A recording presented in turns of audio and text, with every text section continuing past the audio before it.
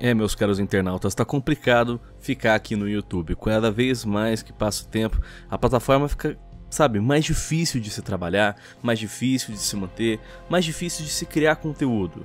Eu não tô falando só das comunidades, das pessoas que assistem, não, tô falando da própria plataforma em si. O YouTube em si tá tomando umas decisões cada vez piores para nós criadores de conteúdo e cara, cada vez mais tá pedindo, né, tá na verdade implorando para que brote algum concorrente à altura para ver se a gente, né, começa a ver uma mudança de verdade. Porque do jeito que tá indo, não dá mesmo. E a decisão mais recente e absurdamente decepcionante do YouTube é a marca registrada de que com certeza a galera que tá responsável por isso lá na gringa não faz ideia do que tá fazendo. Galera, quem fala com vocês é o Lion da Central. E agora eu, White, a gente vai passar essa triste história, né, essa triste notícia, que o YouTube tá defendendo quem tá abusando dos seus sistemas. Está defendendo lacradoras. O YouTube tá basicamente cagando pros seus desenvolvedores, porque o que eles passaram aqui pra gente é um dedo no meio, da maneira a gente tomar no meio do nosso cu. Não tem outra palavra para isso. É exatamente esse o meu sentimento também, Lion. A gente. É, a comunidade inteira do YouTube muitas vezes se junta, né, para denunciar algum criador, denunciar alguma coisa que está acontecendo na plataforma abusando do sistema de copyright, por exemplo. E o que a gente espera no mínimo do, do YouTube é que ele cumpra as regras, né? O, o problema é que quando a gente tem essa resposta e não é exatamente o que tá nas regras, a gente fica tipo assim, tá mano, como assim vocês estão passando pano pra um criador? E é exatamente o que a gente vai mostrar para vocês hoje e é extremamente revoltante. Exatamente, a gente vai passar tudo para vocês, vocês vão entender essa história por completo, mas antes de mais nada, eu só convido você que está assistindo este vídeo a se inscrever aqui na central, clicar no sininho de notificações, assim você não perde nenhuma novidade, beleza? A gente posta dois vídeos por dia, um ao meio-dia, outro às sete da noite, então clica no sininho para não perder nada. E galera, essa história vem do caso recente que a gente trouxe para vocês, que é a youtuber mais odiada da história. Nesse vídeo que a gente trouxe recentemente aqui na Central, a gente explicou o caso da youtuber Suzilu. É um vídeo bem longo e, cara, ele é absurdo, cara. A quantidade de histórias bizarras e inaceitáveis que a gente contou naquele vídeo não é brincadeira. Eu recomendo a todos vocês assistirem aquele vídeo por completo, para vocês terem mais contexto antes de assistir essa notícia. Aquele vídeo é muito bom, é muito importante que vocês assistam para vocês verem as atrocidades que estão acontecendo nessa plataforma. Mas, se você já assistiu, em suma, a gente tem essa, essa youtuber né, chamada Suzilu. Ela faz reaction de animes aqui no YouTube e basicamente ela está abusando do sistema de denúncias do YouTube para poder derrubar qualquer um que está criticando ela. Então o que aconteceu foi que um youtuber simplesmente usou 20 segundos de uma gameplay dela para fazer um meme. Sabe quando você começa o vídeo com alguma zoeira, tipo aqui na central que a gente uhum. põe as nossas intros?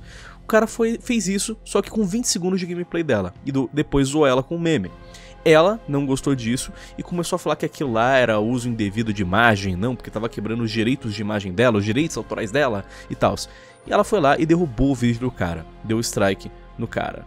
Imediatamente ela começou a ser criticada por todo mundo e, cara, depois que diversas pessoas começaram a fazer vídeos falando sobre esse absurdo que ela fez, ela conseguiu derrubar os vídeos que estavam criticando essa notícia. Ela literalmente derrubava o vídeo alegando que era devido a bullying e assédio. Tipo, entra nos vídeos dos caras, tá lá. Esse vídeo foi removido por quebrar as diretrizes da comunidade do YouTube por assédio ou bullying. Sendo que ninguém tava xingando ela, ninguém tava bullyingando ela, ninguém tava assediando ela. A galera só estava criticando a atitude dela. E cada vez mais ela foi fazendo isso até que se transformou em uma bola de neve que a gente está hoje.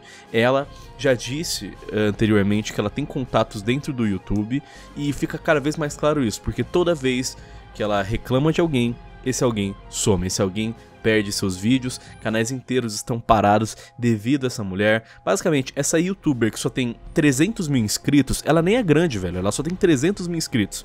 Ela tá tendo todo o poder de parar a plataforma, ela tá mandando e desmandando no YouTube. Claramente, alguém lá no YouTube é algum gado, é um pau mandado dela.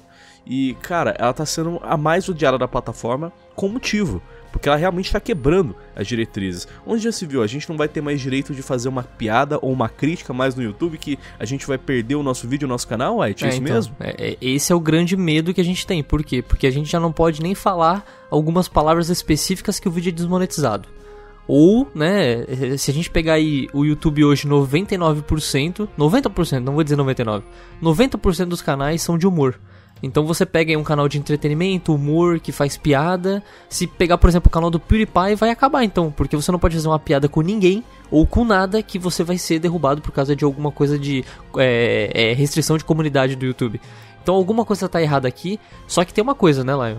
Ela fez tudo isso, é, reclamou lá pro cara que ela tem o um contato, provavelmente, só que neste exato momento, explodiu esse negócio. Não é tipo um, dois, três canais falando, são centenas. Então isso Exato. já saiu até da gringa, já tá chegando no Brasil, por exemplo. Então isso aqui tá virando mundial. Em algum momento ela não vai conseguir mais fazer nada, porque vai começar a ficar suspeito. Então, alguma coisa tem que ser feita. E a gente teve, claro, a resposta do YouTube, né? Exatamente, porque nessa situação toda em que tá todo mundo preocupado, tá todo mundo puto com a, o fato do, de alguém no YouTube estar tá permitindo que isso aconteça, que essa, que essa pessoa abuse né, do sistema, abuse uh, do, do, de alguém que tá lá dentro para poder, tipo, mandar e desmandar e tirar qualquer tipo de conteúdo que ela não queira, porque isso aqui em tese é censura. Ela tá censurando outros youtubers simplesmente porque eles estão criticando Sim. ela. E sem contar né? a hipocrisia, porque ela faz react de conteúdos de outros, né? E tá é, lá na plataforma. Exato. Essa treta toda começou porque ela não gostou da imagem dela sendo usada em outro vídeo, alegando que era quebrar direito de imagem. Sendo que, ironicamente, os vídeos dela são react de anime. Ou seja, ela que está usando a imagem de outras pessoas, no caso, ela está usando o anime de outras empresas. Pra ganhar dinheiro. Para ganhar dinheiro em cima, disso, em, em cima dela. Porque, tipo, ela não tá fazendo um conteúdo único. Você vê os vídeos dela, é só ela reagindo anime, cara. É ela assistindo Naruto inteiro. Então ela tá postando em tese Naruto, tá ganhando em cima de Naruto e tá tendo zero Sim. criação por cima e, disso. Então, pra... ironicamente, é hipócrita pra caralho, né? É, a palavra. É exato. E, e, claro, a gente falou mais sobre isso no outro vídeo, mas resumindo para você, isso é proibido no YouTube. Você não pode fazer exato. isso, você não pode postar um react, porque o react tem que ser feito de uma forma toda modificada e muito modificada que uhum. você ainda é, que a pessoa que assiste o react ainda tenha que ver o original. E no caso dela não, porque ela assiste o episódio inteiro, você assiste junto com ela e acabou. A pessoa não vai querer ver o original. Então ela tá totalmente errada. Mas em suma, a galera tá puta por causa disso, e com razão. E o que acontece, galera? Recentemente, o youtuber John Swan, ele que fez um dossiê completo, gigantesco, de meia hora sobre o caso da Suzy Lu, inclusive foi super bem editado, a gente acompanhou esse, esse caso do começo ao fim. Ele postou no Twitter alguns dias atrás a seguinte mensagem: Suzy Lu ataca novamente, a guerra começa agora. E ele mandou um print do canal dele que sofreu um, um strike. Sofreu um strike devido à violação das guias da comunidade. E ele fala aqui, é, a gente vê aqui um aviso dizendo que o seu vídeo, Suzy Lu, a youtuber mais problemática que você nunca ouviu falar, abusando de falsos flags e copyrights, foi removido pois ele viola as nossas políticas de assédio, ameaça e cyberbullying. Então, galera, pera aí, ó, seguinte, eu não vou pedir pra vocês verem o vídeo do cara, necessariamente, porque o vídeo do cara tem 30 minutos. Mas eu e o White, a gente assistiu esse vídeo do começo ao fim. E eu posso afirmar do fundo do meu coração, não houve qualquer tipo de assédio, ameaça ou cyberbullying na meia hora do vídeo que a gente viu. A gente viu apenas uma denúncia com prints, vídeos e, cara, uma ótima edição mostrando tudo o que ele estava falando ele estava alegando que ela estava sendo hipócrita. E ele foi lá e mostrou essas partes. Ele estava falando que ela era mentirosa. E ele mostrou ela sendo mentirosa ao vivo. É, ele mostrou clipes dela sendo mentirosa. O máximo que poderia ter aqui, talvez de bullying ou talvez de assédio, seria o fato de que ele zoou a testa dela. Ele deu uma. falou que ela é tipo Maria Mano Testa, que ela tem uma testa gigante, testa de outdoor, zoou ela. E tipo, essa é a única situação que eu consigo imaginar que isso entraria em uma dessas três, três causas aqui de assédio, ameaça ou cyberbullying. Porque de resto, não faz o menor sentido esse vídeo ser derrubado e ele levar um strike por assédio, ameaça ou cyberbullying. Tem algum outro motivo pra isso que tá, tá acontecendo? Não, gente? nesse vídeo esse foi o único motivo, né? E vamos falar real? Então, se o YouTube tá querendo derrubar qualquer vídeo que as pessoas façam alguma piada com outra, então vamos fazer o seguinte: começa a deletar todos os vídeos que tem sobre humor contra outra pessoa. Deleta os vídeos zoando Bolsonaro, deleta vídeos zoando Lula, deleta vídeo fazendo meme com outras pessoas, porque o que mais tem é pessoas fazendo alguma coisa e as pessoas usam essa situação engraçada para fazer um meme da pessoa. Então tem que deletar tudo isso lá do YouTube. Por que, que isso tá na plataforma? Por que, que esse vídeo em específico foi deletado e os outros não são deletados? É porque não, não existe isso, cara.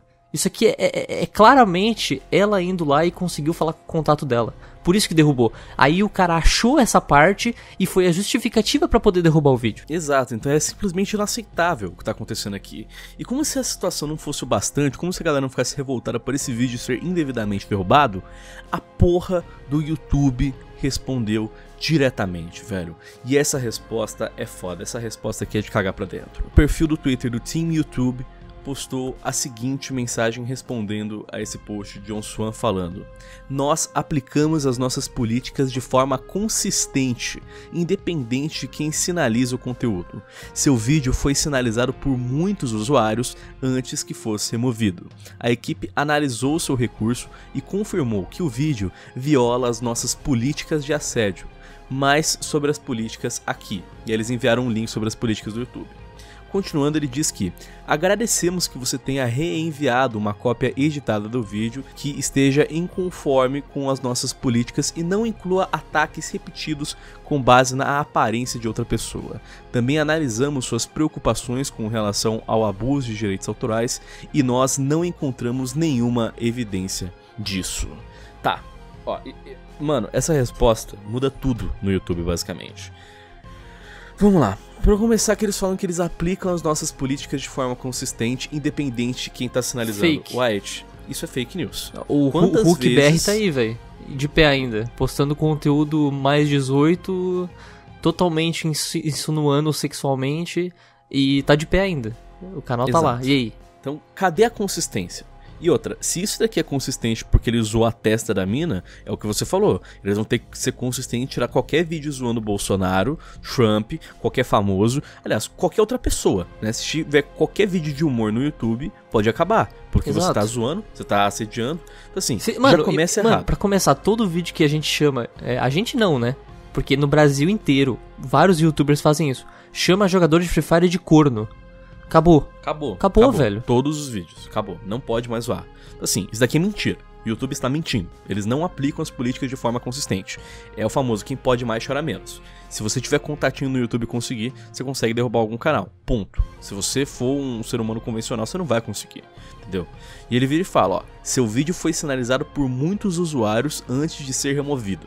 Também é mentira, porque o próprio John Swan falou que ele só passou 24 horas com o vídeo ativo e depois o vídeo foi derrubado. Só, Mano, se, só se ela fez uma força-tarefa, mandou o link pra um monte de gente do canal dela, do Discord, sei lá da onde, e todo mundo foi denunciar. O que eu acho bem improvável. Exatamente, porque, porra, 24 horas. 24 horas de um vídeo upado. O cara tem o quê? 16 mil inscritos naquela época. O cara não bateu, viu, pra caralho. A mina foi lá, a Suzy Lu viu isso e derrubou. Então, assim, vai me falar que foi sinalizado por muitos usuários? Mentira. Até porque quem que ia denunciar uma coisa dessas? Não tem o que ser denunciado pro YouTube. Aí ele fala que a equipe analisou o seu recurso e confirmou que o vídeo viola as políticas de assédio. Mano, é o que eu falei. Zoar a testa de alguém, falar que você tem testa de outdoor. Agora é assédio? É bullying? Mano, Pra começar que assédio e bullying são baseadas em consistência. Você tem que ficar enchendo e, e- e zoando e menosprezando a pessoa toda santa hora para isso ser considerado um assédio ou um bullying. Você fazer uma piada com a testa de alguém não se classifica como assédio ou bullying nunca. Então assim, claramente os caras não estão tendo o menor bom senso, a menor moral e a menor boa fé ao falar uma coisa dessas. Porque, na boa, se isso daqui é política de assédio, White, fudeu pra todo o resto. Não, é, Pode se- cancelar metade dos canais aqui no Brasil. É, e, e mesmo assim, Lion, se for considerado pelo YouTube, né? Se eles consideraram isso assédio, bullying, cara, a gente tá fudido completamente. Porque vai acabar qualquer tipo de vídeo, de humor e digo mais, a gente vai ter que virar tudo padre, freira aqui fazendo vídeo, vai ter que falar tudo certinho porque o politicamente correto vai reinar aqui, né? É o que tá acontecendo na internet hoje em dia. Você fala um ai que tem uma interpretaçãozinha ali, ai meu Deus, você está me ofendendo. Vou derrubar o seu vídeo. Pelo amor de Deus, velho. Isso aqui tem que parar, velho. E o YouTube tá ajudando isso. Mano, é uma Não piada, pode. velho. É uma piada. E sem contar que a pessoa é famosa, é uma pessoa pública. As pessoas adoram fazer piadas com pessoas públicas. Mano, me chamam de terrorista. Me chamam de homem-bomba. No Natal me chamam de Papai Noel, velho. Eu só posso vestir vermelho no Natal por causa da minha barba, velho.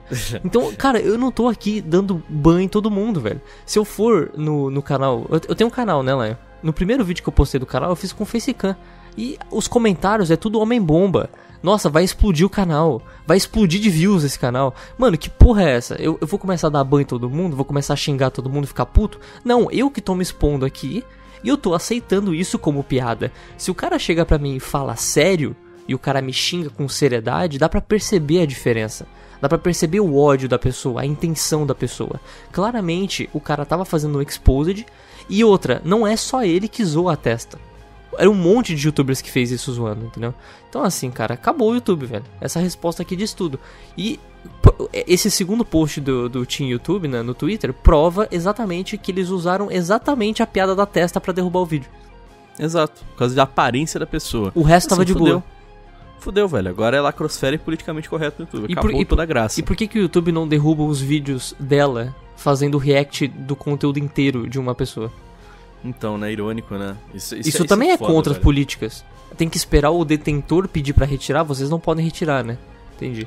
Mas é, é, por causa que o último, a, a, última parte do post do YouTube confirma a tese. Eles falam, ó, também analisamos suas preocupações em relação ao abuso de direitos autorais e não encontramos nenhuma evidência. É claro que eles não encontraram evidências, porque o cara que postou isso é o cara que tá passando pano para ela.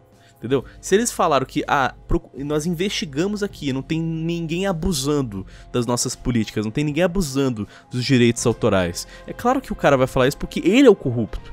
O cara que postou isso é claramente o cara que tá abusando dos direitos. Então isso aqui só conforma mais uma vez que o YouTube é, é, é biased. O YouTube toma lados. O YouTube vai lá e ele fala: oh, gostei de você, vou começar a te ajudar. E tá ajudando essa mina, entendeu? Porque, se, mano, claramente tá rolando um abuso. Claramente o YouTube tá passando pano pra ela. Ele vai falar que eles investigaram e não encontraram nenhuma evidência. Cara, as evidências estão escritas na sua testa, cara. Então, assim, é triste. Mas a gente chegou numa situação triste do YouTube. Realmente chegamos numa fase muito negra do YouTube. É uma fase em que você não pode mais fazer nada não pode mais zoar nada, não pode mais falar nada, que agora você vai ser passível de levar strike por é, ataques repetidos com base na aparência de outras pessoas. Acabou, velho uma testa tá derrubando o YouTube por completo. Se eu, te, se eu, eu tô te, bem decepcionado. Se eu te chamar de gordinho, seu gordinho gostoso, seu, seu gordinho, já era então. Se o cara se sentir ofendido e me denunciar, é ferrou. Porque eu chamei a pessoa não de gordinho. Falar, não pode falar de gordinho, não pode falar de, de cabelo, não pode falar de barba, não pode falar de cor de pele, não pode falar de absolutamente mais nada, cara. Acabou, acabou, acabou o YouTube. todas as piadas, acabou todas as brincadeiras. Agora é realmente lacrosfera e politicamente correto.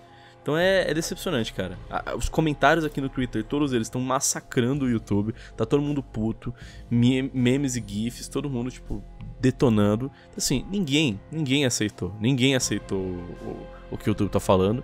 E honestamente, se eles man se a equipe do YouTube manter pessoas assim no poder, acabou, velho. Acabou, porque isso daqui é uma piada de mau gosto com qualquer criador de conteúdo, e não só criador de conteúdo, mas qualquer pessoa que acessa o YouTube. Porque isso aqui vai significar o fim da plataforma quando o assunto é humor, o fim da plataforma quando o assunto é liberdade, e entra naquela questão.